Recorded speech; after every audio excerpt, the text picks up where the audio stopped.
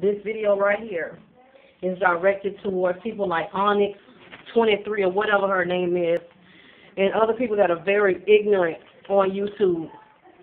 And some people are very cruel on YouTube, and some are just downright rude, like a gnat on on YouTube, always buzzing around, got something to say. It's like, look, I know that YouTube is a place where people rah rah, they run their mouth. We all have something to say, but I'm the type of person like this.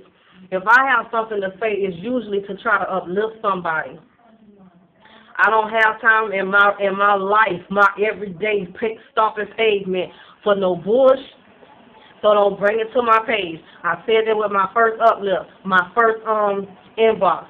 Um, don't bring that to my page. Don't inbox me with that foolishness. For real, all that messaging me five, six, seven, eight, nine, ten times when I told you don't come to my page and all that, man, you need to do something with your time because you already know what time it is. We not in person. We can't dance.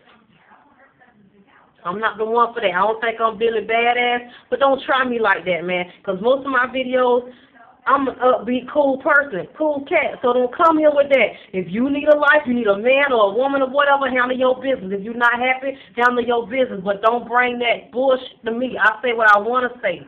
You say what you want to say, but when a person, but you don't need to be negative. And if a person tells you, okay, leave me alone, I'm not with that, don't keep coming to my inbox and all that, stop doing it. Mind your own. Keep your mouth shut because people like you in the underground in real life because you could not shut up when somebody told you to stop. Take that to somebody else playground, baby, because I don't play. I'm, I, I don't play with cheering. I ain't got time for that. You understand me? Onyx and other dumbasses, don't come to my page with that.